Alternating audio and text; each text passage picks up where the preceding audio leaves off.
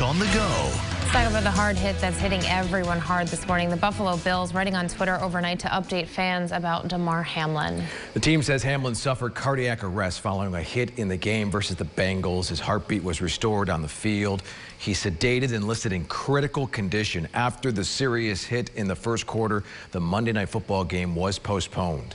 A Syracuse man is in custody this morning after a 14-hour standoff with police. 44-year-old Corey Gray is charged with menacing in the second degree and criminal possession of a weapon. All day Monday, Syracuse police were in the 400 block of Short Avenue. People who lived in the area were asked to shelter in place. Police believe the suspect was armed. As of this morning, the scene is clear. Part of central New York will have a new congressman today. Brandon Williams will be sworn in from Washington as the new House representative for the 22nd District, covering the Syracuse and Utica regions. He takes over for retiring Congressman John Katko. The Republican majority will also vote on the next Speaker of the House today. Revitalizing neighborhoods across the state is becoming a priority for Governor Kathy Hochul. Now $10 million in state funding will go towards 12 projects in Syracuse's southwest neighborhood. Half a million dollars is going to Jubilee Homes. Other nonprofits getting funding include the Rescue Mission and Southwest Community Center.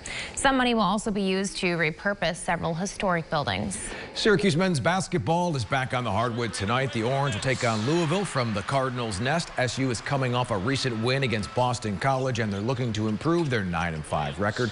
Louisville is currently 2 and 12 on the season. Tip off is set for 7 on ESPNU.